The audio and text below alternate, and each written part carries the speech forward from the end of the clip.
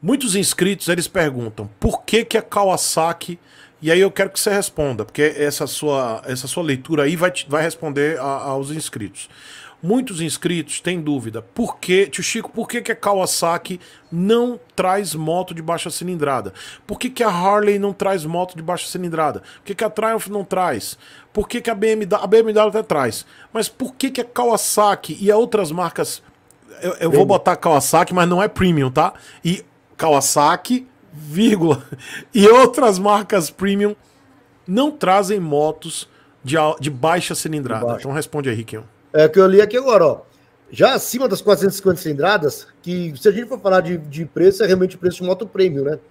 É. é. onde estão todas as demais marcas prêmios, todas atuam em CKD e não precisam se preocupar com a injeção de plástico. Por causa disso, entendeu? Nem com a fabricação de peças metálicas e solda de pintura de chassis.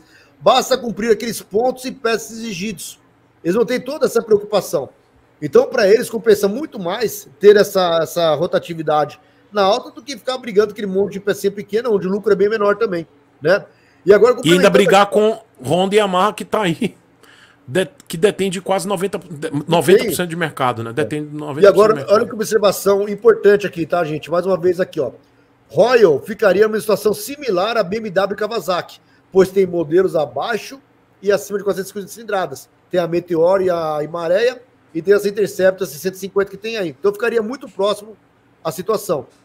Mas a Bajaj, olha aí, gente, aqui no Brasil, a Bajaj atua 100% abaixo de 450 cilindradas. Né? Ela tem a Dominar e as Pulsar, aquelas menores. Então, ela sim vai ter que planejar muito bem o momento certo para ultrapassar as 10 mil unidades por ano. Talvez depois de uns 5, 10 anos. Olha então como é importante a gente entender um pouquinho de como é o mercado porque tem um pessoal que é meio ufanista, né? Aquele pessoal que fica sonhando aí. Ah, a Bajaj vai chegar, vai arrebentar, vai. Não chega, gente, ó. A Royal ficaria em uma situação parecida, Taura. Tá, Mas a Bajaj, ela atua 100%. A Dominar é 400 cilindradas, então ela está abaixo de 450 cilindradas. Para nossa lei, ela vai ter que se manejar muito bem. Porque se ela ultrapassar, para ultrapassar as 10 mil unidades, que a gente está falando agora, como é que ela vai chegar e colocar 20, 30 mil unidades? Vai ter que montar a moto toda aqui da, daqui a pouco? Entendeu?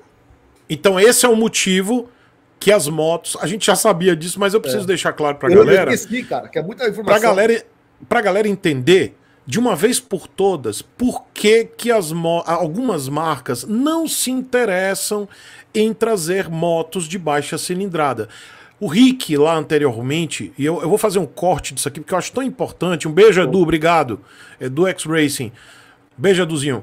E o Rick, ele lá atrás, no início da live, ele falou da, da questão da quantidade de motos vendidas. Então, Rick, eu preciso que você volte para a galera entender qual é a maioria das marcas aqui no Brasil tem um limite de 10 mil unidades. Explica de novo para todo mundo entender e por que que as marcas, você já acabou de falar, porque que as marcas não se interessam em trazer motos de baixa cilindrada. Além de ter que brigar com duas marcas que detêm de no, mais de 90% do mercado. É uma briga muito uma disparidade muito grande, muito injusta, digamos assim. Você não tem como brigar. Kawasaki não tem como brigar. Mas explica aí, Rick, a questão das 10 mil motos. Por favor, faz um. um Porque a, as exigências né, que tem da injeção de plástico, das peças metálicas, a solda de chassis, elas só são obrigatórias acima de 10 mil unidades para a soma até 450 cilindradas. Né, até 450 cilindradas. Então, se você pegar é, 150, 200, a pulsar aí. 300 cilindradas. Tudo. Tudo isso aí, né? Então, até 10, mil, até 10 unidades por ano. Por ano, tá, gente? Agora, é, é pra, acima de 450 cilindradas, não tem essas exigências, né? Essas exigências não existem, é porque o volume é baixo. É só importar por peça tipo CKD. Então é muito mais lucrativo para as marcas trazer motos de maior cilindrada, ou seja, 450 para cima. É, por causa que a lei manda de 450 para cima. Então você pega uma 650 da, da Royal, tudo, os caras estão sossegadão, não sei cadê, pode trazer aí para cima, porque a exigência já passa a ser outra. Né? Aí vamos pensar, vamos, deixa, deixa, deixa eu agora falar pra galera que eu sei que eu quero falar para todo mundo, tá? Eu quero falar para quem entende, para quem tem um pouco mais de dificuldade para entender, e eu gosto de falar assim na linguagem da galera. Vamos lá, pessoal. Vou dar um exemplo aqui, vou fazer uma comparação de uma, uma sorveteria, tá? Você vai lá, você tem uma sorveteria, aquela sorveteria de bairro, que o cara tá lá, show de bola, vendendo o picolézinho dele, aquele picolézinho no palitinho, simples de fruta, que você vai lá, paga um 3 reais no picolézinho. Pronto, show de bola. Picolé tá lá, o cara tá vendendo, só que o cara já tá lá há 40, não sei quantos anos vendendo picolé, bicho. Todo mundo conhece o picolé do Zé. O picolé do Zé, velho, é o melhor picolé que tem. E o picolé do Zé tem todo até tipo de fruta, tal, é da fruta, é gostoso. Show de bola. E aí, o Zé ele vai, diversificando. Só que o carro-chefe do Zé é o picolé. Mas o Zé, ele não vende só picolé, ele vai vender o sorvete, o, o sundae, o top sundae, o, o sundae de 200 bolas, beleza. Aí chega um, uma galera nova, o Zé tá vendendo ali na praça, ele já o Zé já tá quase 50 anos vendendo picolé. E aí ele monta, já tem uma estrutura, já tem uma lojinha, todo estruturado, afinal ele já tá quase 50 anos. Aí vem outra galera e fala, pô, esse cara tá vendendo picolé bem pra caramba, eu vou abrir lá, na mesma pracinha.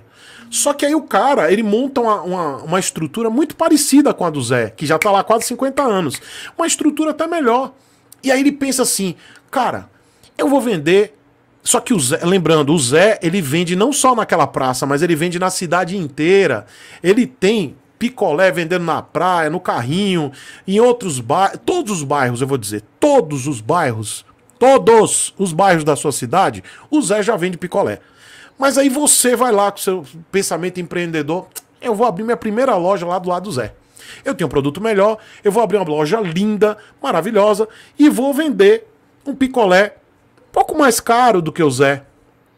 Mas é um picolé de frutas com um recheio em cima. Você não vai vender igual o Zé. Você não vai vender, porque o Zé é o Zé. Zé, Zé, pô. Todo mundo fala, ah, eu tomo um picolé do Zé, pô. Zé, Zé. Você, quem é você? Você chegou agora, cara. Você chegou, você pode até vender por 50 centavos mais caro que o Zé, mas Zé, Zé. Então, não adianta. Aí o cara pensa assim, velho, eu não vou vender mais picolé só para ganhar alguns centavos a mais que o Zé. Eu não vou vender esse picolé, porque eu sei que eu não vou ganhar do Zé. O Zé já tá no Brasil. No, no, no Brasil. No, no, na cidade toda, mas a gente pode transformar a cidade no Brasil. Ele já tá em todos os bairros da minha cidade. E o Zé já tá há quase 50 anos. E Zé é Zé na cabeça da galera. Então eu sou. Eu cheguei aqui agora, eu tenho um produto melhor, eu sei que o meu produto é melhor. Então o que, que eu vou fazer? Eu vou vender só Sunday. Eu vendo um pouco mais caro. O meu Sunday é melhor do que o Sunday do Zé. Eu sei disso. E a galera sabe. Então, pelo menos com o Sunday, eu vou ser mais competitivo do que o Zé. Analogia Basicamente perfeita. é isso que as, é, as, as marcas de motos, elas fazem isso. Uma analogia perfeita, foi brilhante, Chico. Uma coisa bem fácil de a gente entender, né? Porque assim, o produto popular ele já tem uma identidade, é, que é o picolé, né? Já tem uma identidade, já tem o pessoal que gosta, já tem o pessoal que vai comprar. Então tem que ser uma coisa diferenciada, uma coisa que seja um pouco mais elevado para você ter o seu lucro. Senão você vai ficar brigando uma coisa nunca vai sair daquilo. Né? E aqui, inclusive, só, só reiterando aqui, ó. Acima das 450 cilindradas do Sander aí, onde estão todas as demais marcas premium, todas atuam em CKD. Então elas não precisam se preocupar com a injeção de plástico, né? Não precisam se preocupar com a fabricação de peças metálicas, solda, pintura de chassis, nada.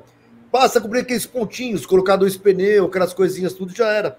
Entende? Então essa que é toda a dificuldade aí que o pessoal tem que entender que não é só chegar e falar assim, não, a Bajaj vai chegar e vai acabar. Não vai, gente, não vai. Isso é mais eu falo para vocês, é, é, cara lunático aí que tá falando essas besteiras aí. A lei, ela, ela realmente ela trava o pessoal chegar aqui novos players e poder competir de uma forma bem, bem razoável. E essa aqui é uma singela homenagem e agradecimento a todos os apoiadores e membros deste que é o pior canal do YouTube. Pessoal, muito obrigado. O nome de todo mundo está aparecendo aqui agora e vai aparecer no final de todos os vídeos deste canal aqui. E se você gosta do conteúdo, quiser se tornar um membro ou apoiador, mas principalmente um apoiador, vai lá no apoia.se barra Chico Sepúlveda. E se você quiser se tornar um membro, toca aqui nesse botão embaixo, seja membro. Muito obrigado.